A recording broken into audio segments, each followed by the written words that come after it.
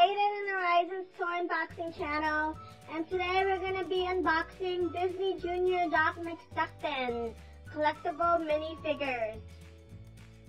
Slime Balls, Series 1.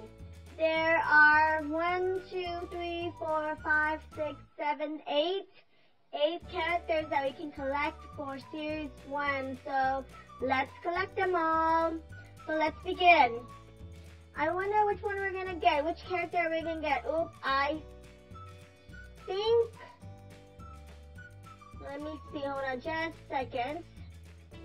So here are all the characters that you can get. Like I said, there are eight characters that you can collect. And this is Stuffy. I think this would have been nice if Doc McStuffin was part of um, the minifigures. As part of that, she's the only one that's not included from here.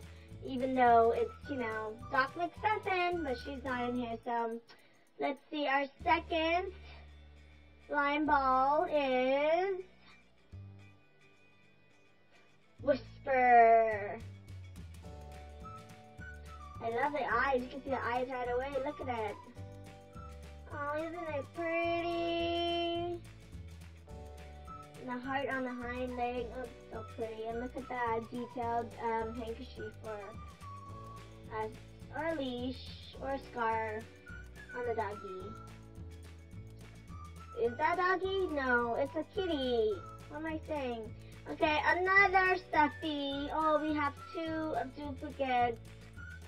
Look at Stuffy wearing, he's wearing a socks in one. But you know what? If you look at closely at the um, series one, the pamphlets where it shows you all the different minifigures, Stuffy doesn't have a socks on. Oh, goodness gracious, we have another duplicate of Whispers. So we have two duplicates. We have two Stuffy and two Whispers.